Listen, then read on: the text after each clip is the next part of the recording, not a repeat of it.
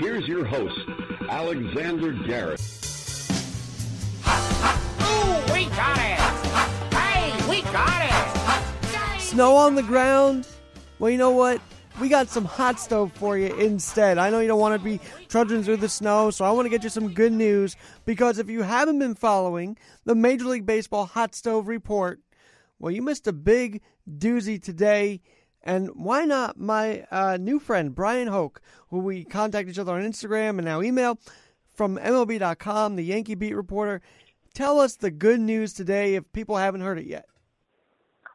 if you haven't heard it yet, then you haven't been paying attention. Uh, Gerrit Cole and the Yankees have agreed to a nine-year, $324 million contract. That is the largest ever given to a free agent starting pitcher. And uh, the guy that the Yankees – General Manager Brian Cashman calls him his great white whale. Uh, they've tried on two different occasions to get him before. Now they've got him. He is their ace, and that has been the big story of the winter meetings here so far in San Diego. I was going to say you must you must miss New York snow to be in San Diego right now. I mean, it, it's got to be hurting you to be out there in that nice warm weather. well, to be honest with you, uh, during these winter meetings, you don't get out too much. So uh, this is one of the rare opportunities here. I've stepped outside to talk to you. Uh, it is nice here. Uh, Are you guys near you, Petco by any chance? Are you near Petco Park? A few blocks away. Yeah, we're uh, probably it's a short walk from Petco Park, and uh, but it is beautiful here, even in December. And so, yeah, I'm looking at palm trees right now. But uh, to be honest, you, you spend a lot of time in the hotel, walking the hallways, trying to find people to talk to, and uh, clearly the Yankees have given us something important to talk about. Well, right, and obviously they also gave up uh, Didi Gregorius yesterday. Really quick, a favorite Didi memory of your time covering the team? Favorite team? I mean, it's actually off the field. Um, I will tell you this story.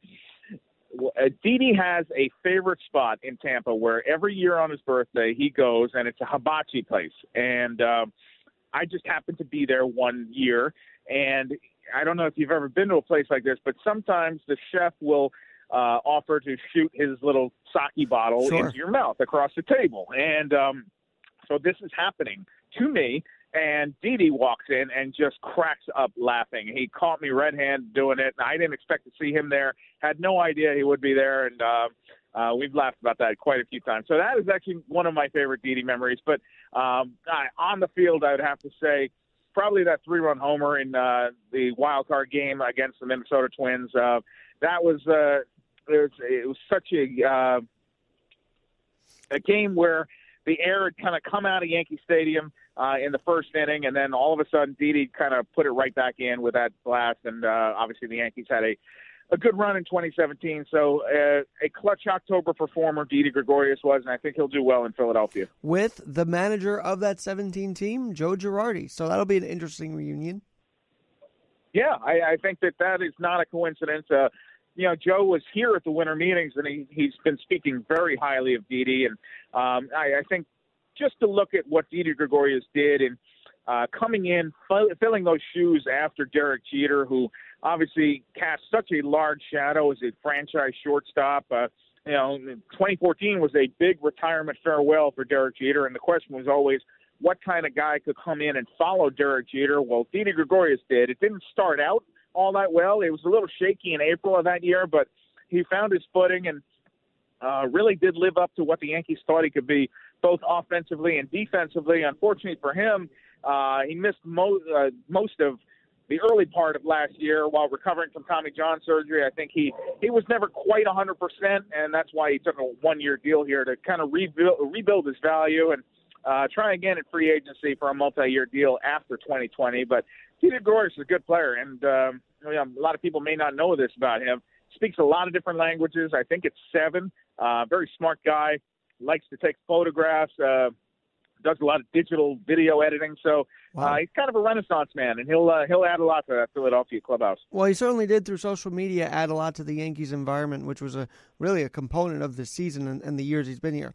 Now, Bryan, how does Cashman seem to do it almost every winter meeting out? Now, last year was kind of a dead year, but he did, he did get Stanton during the winter meetings in in uh, 17 or the winter of 17. He did get Teixeira and CC around this time in 09. How does he have that holiday magic work for him in these meetings? Yeah, I, I think that having the Steinbrenner family behind him offering that kind of money makes a lot of that magic happen. Um, you know, it, you can be the greatest GM in the world, but if you don't have that backing from the front office, uh, you're not going to get the player. And that was the case here, where Hal Steinbrenner had authorized that kind of payout.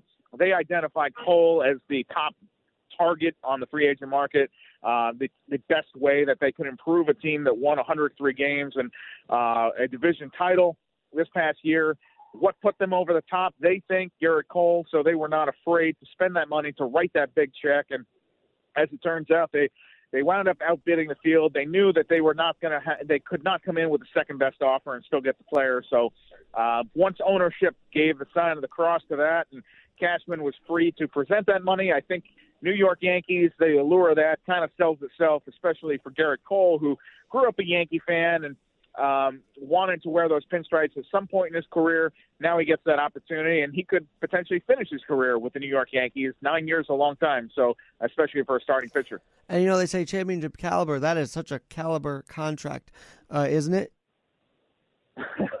well, I mean, it's the best that's ever been given to a free agent starting pitcher, and so I, uh, you know, uh, one of his former teammates tweeted out, Trevor Williams of the Pirates tweeted something out this morning and said, Imagine having to never think twice about getting guacamole at Chipotle. And so, uh, yeah, yeah, Gerrit Cole can pretty much do whatever he wants with that money. But uh, at, at the end of the day, I think, look, the money talks, but also what talks is the ability to win a World Series. And uh, when I when I believe that Gerrit Cole put the Yankees offer against, say, the Anaheim Angels or Los Angeles Angels of Anaheim, um, you look at that and say, all right, which team will give me the opportunity to win a World Series now? Um, coming, having just pitched in a World Series with the Astros, I think that Cole wanted his chance to get back. Uh, I think that's important to him getting a title, and he's certainly going to have that chance with the Yankees. They believe, they expect now that they will be winning a World Series in the very near future. Uh, I would say so. I mean, you still got Tanaka, you still got Paxton. Uh, what's the latest with Happ, by the way? Has he been traded? Is he, is he staying? What's his deal? Well, I think that they're going to look into it, especially now that they've added this big contract. You're looking at ways that you can kind of trim salary here, and Happ clearly did not have the year that he or the Yankees anticipated. So you would be selling low on this, and uh, they probably have to eat some of that money. But uh, I think that given that he's earning 17 million for next year and could be under contract potentially uh, for the year after that, depending on an innings pitched. Uh, I think it's something that they're going to look into, but there's really no rush on that. They can potentially keep Happ into spring training or even in the beginning of the year. Uh, yeah, I think that it's something that they could do if they run into something, and they're clearly looking at all the, I don't think there are very many untouchables for the Yankees. I think Miguel Andujar could be traded. Sure. I think Clint Frazier could be traded. You could add in some other names there, but uh, they don't have to do anything really at this point. I think their focus is going to be re-signing Brett Gardner, making sure they have a center fielder for opening day, and uh, they can go from there. But um, you're going to make a lot of small incremental tweaks uh, before you get to opening day. Well, and, and we're talking Bryan Hoch, who is the MLB.com Yankee reporter. Is that right? That's the right title for you? That is correct. And uh, if you've seen him on his tweets on MLB Network, if you've seen his Twitter, it's that Bryan Hoch on with me on the Sports Hour part of Keeping Real with Alexander Garrett. Uh, Bryan, thanks so much for joining us tonight. Now, really, what, what did Aaron Boone have to say today? I know you saw him and he met with the media. Yeah, um, well, they can't say too much about go. It's, it's this funny dance that you have to to make with uh, Boone and Cashman because everybody in the world knows this Gerrit Cole deal is done, uh, but it has not been formally announced. Cole still has to go and take a physical, so they have to kind of speak as though it's not done, which is funny. It's funny semantics, but clearly they're excited. And Boone was out to dinner last night. He was uh, he found out a lot of the same way that we did. Somebody texted him. He went to Twitter, started checking the uh, the details as they were coming out, and uh, then finally, you know, got confirmation. He's excited. He's thrilled. I mean, they think that Gerrit Cole is going to be a huge part, a huge success in New York. Obviously, this is their ace. Um, they're going to be relying on him for years to come, and uh, they, they landed their top target. As I said, Cashman spoke about him as the great white whale of this organization. They really wanted this guy. They made him a priority, and they come away with their big prize. And now I think it's uh, up to the Yankees to make sure that he's comfortable, that he can perform up to the caliber that he is. But you look at this guy; he's 29 years old. He's in the prime of his career, big strikeout pitcher. Um, you know, great players get paid, and so the Yankees knew they were going to have to write a big check. They got him. Well, let me ask you this: so you you've obviously been with the Yankees for a while, and you've probably covered the opponent uh, of the Yankees. Have you ever talked with Gerrit while he's uh, while he was on the Astros or even the Pirates? I have actually not personally spoken to him, but everybody I talked to, uh, this is an intense competitor. This guy, but he's very, very bright. Uh, he knows what's going on around him at all times. He is going to be very, very media savvy, and which is a big part of playing in New York City. Um, I, I think that nothing is going to rattle him. You know, this is a guy who's been preparing for stardom since high school. Um, I, I, I was talking to somebody today who went to high school with him, and as a junior in high school, um, you know, teachers, classmates would bring in boxes of baseballs for this kid to sign. I mean, you knew that the greatness was going to come. Nobody knew that he was going to wind up being the first overall pick a few years later and uh, wind up making this kind of money in the big leagues. But he's been preparing for this for a long time, and I think it speaks volumes that he was willing to bet on himself, turn down his favorite team in 2008 uh, in order to attend college. That was something that was important to him, uh, knowing that if he played well in college, he'll get another opportunity. And and again, here uh, while he was with the Astros, he made it very clear he did not want to talk about a contract extension. He was betting on himself that he would be able to go out in free agency, pick his own destination, and and that's exactly what happened. And uh, I think that a lot of careful thought went into the process of becoming a New York Yankee for Gerrit Cole, and this is where he wanted to be.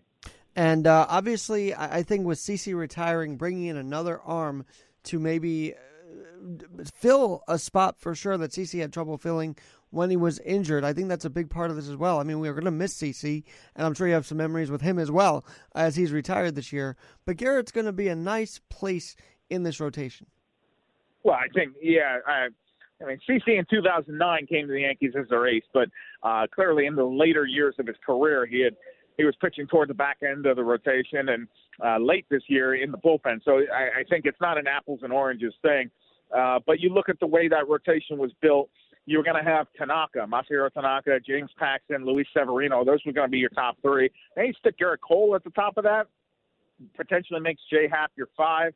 Uh, you've also got Jordan Montgomery, a few other candidates down there. Domingo Germán, who won a ton of games last year. He's going to serve a suspension, I believe, but he'll be back at some point. So uh, this is suddenly a team that uh, we went through all of last year saying they don't have enough starting pitching. Now they have a lot of starting pitching, and that was the one weak spot, as I said, that the Yankees really thought they could upgrade and um, pour their chips in and make this team better.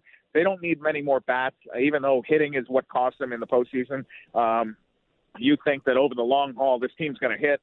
They needed some starting pitching. They've still got a great bullpen. I think they've got to be World Series favorites right now as the currently constituted. It does have a feeling of when they got uh, Tex and uh, CC in 09 or 08 into 09 has that kind of feel right now um, that it, the buzz is there where it hasn't been and over the last forget, few years. Don't forget, sure. and don't forget AJ Burnett was a big part of that team. Nick Swisher wound up being a big part of that team too. So, uh, yeah, that was a star-studded offseason. They spent almost uh, a half billion dollars that offseason to open up the new Yankee Stadium, and were, were they were rewarded with a championship. And now you look back, and it's been a decade since then, and uh, they haven't been able to raise that championship flag again. Uh, maybe they go back to that playbook here, and uh, writing some more big checks will get them there. Well, Bryan, you've uh, is this the first MLB.com team you've covered, or what led you to become the Yankees reporter? Well, I started my career covering the Mets. Actually, I was across town at Shea Stadium covering the Mets, but I've been on the Yankees beat since 2007. So I, I've gotten to see some very cool things: the uh, the closing of the old stadium, the opening of the new one, the end of the Joe Torre era, uh, the beginning of basically all of Joe Girardi's time as manager, and now uh, the first few years of Aaron Boone. Gotten to see uh, the retirements of Derek Jeter, Andy Pettitte, Jorge Posada, uh, Mariano Rivera. Gotten to walk the halls of Cooperstown with Mariano Rivera. So uh, no, I've been very blessed to uh, have this opportunity to kind of go along for the ride with the the most storied franchise and the winningest franchise in all of baseball, and something I don't uh, something I don't take lightly. I, I'm very uh, very appreciative. And I was going to say, you know, you're very relaxed when talking about it, but do you ever find it's a daunting task covering this New York Yankee Ball Club? I mean, it's one of the most highly uh, viewed of all the teams. So, is there any pressure you feel, or do you feel relaxed doing this, or what? What's the mindset like every day? I think every day is a challenge. You got to prove yourself every day, and um, if you're living off your successes or failures from yesterday, then you're not doing it right. Um, you you got to come in fresh every day, just like the ball players do. And um, I, I think that there's always a new story to chase, and that's the great thing about being on this beat is that you know the interest level is just so high. I mean, it's such a universal brand.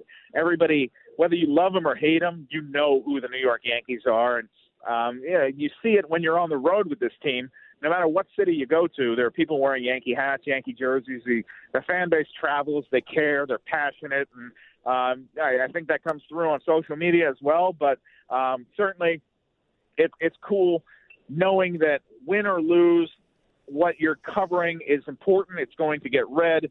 Uh, there's significant interest, and um, that's what you want. You want to be covering stories that people care about, and every day the Yankees are a story you care about. Well, and I don't know if you've ever seen the videos, but I cite your stats mid-season, and I'm like, man, I need Bryan Hoch. I need these updates because I I don't know the record book, but you go deep dive into these records every day, and I'm really impressed by that.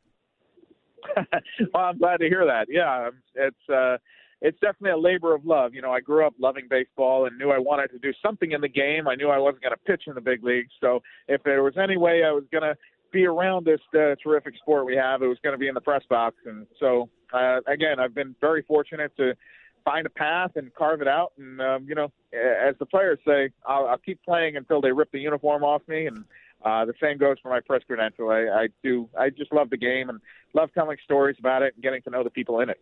Now, Bryan, one quick thing that I have to feel still overshadowed um, this winter meetings this year was the Astros. It was it not? Was that a big conversation topic? And oh, what was yeah. said?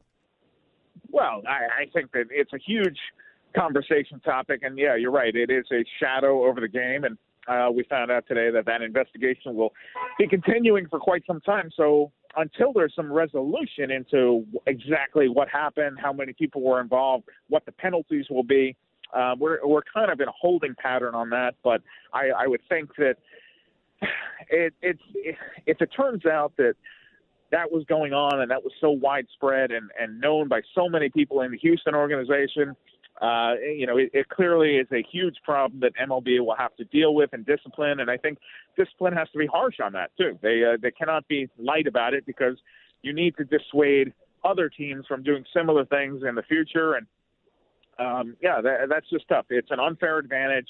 And um, you know, Joe Girardi was here saying they knew they they heard some whispers that things were happening in 2017, for example, when he was the Yankees manager in the ALCS, and um, you know Aaron Boone called it eye popping, the, the fact that those allegations were out there about the 2019 team. So hmm. um, you wonder, you just want to have a clean playing field. And whether it's we're talking about this or steroid use or anything else that's happened in the game, I think teams are always going to try to find an advantage.